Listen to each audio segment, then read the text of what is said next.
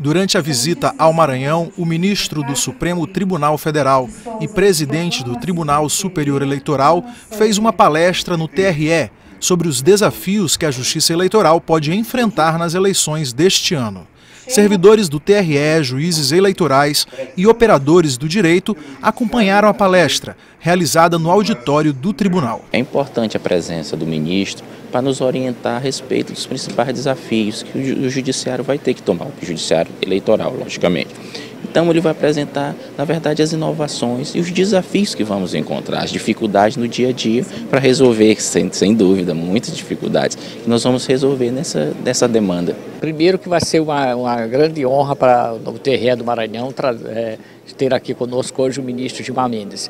Ele deve abordar os temas, temas sobre os novos desafios das eleições de 2016, com foco nessa nessa reforma do controle de gastos, na instalação do, do aplicativo Pardal, que vamos assinar a resolução hoje, instituindo oficialmente o Pardal aqui no Maranhão, que é um sistema de fiscalização que a população participa.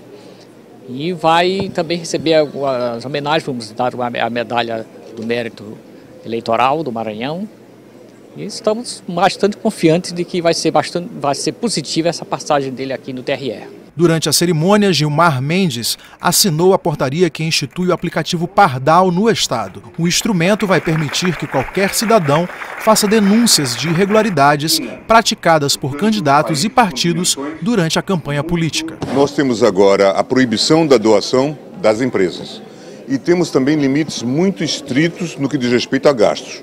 Uh, 62% dos municípios, o gasto do candidato a prefeito não pode ultrapassar 100 mil reais e o do candidato a vereador não pode ultrapassar 10 mil, 10.800 reais. Então, é, nós estamos tentando fazer uma fiscalização muito estrita, muito rígida, e estamos concitando os outros candidatos, os cidadãos, a participarem, contribuindo para que a Justiça, a justiça Eleitoral é, faça a devida é, investigação. E por isso nós lançamos esse projeto, esse, esse programa, que foi desenvolvido inicialmente no Espírito Santo, depois foi é, aperfeiçoado na Paraíba, para fazer essa nacionalização. Gilmar Mendes fez uma avaliação dos impactos da recente decisão do Senado, como o impeachment da Dilma Rousseff deve influenciar essas eleições. Pode ter efeito, sim, é, nos debates que possamos ter, eventualmente, isso não é comum, é, num debate sobre crime de responsabilidade no âmbito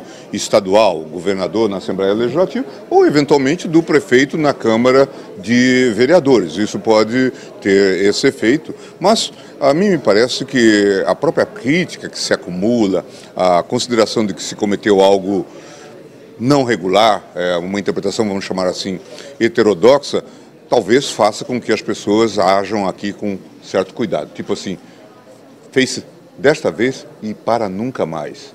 Que repercussão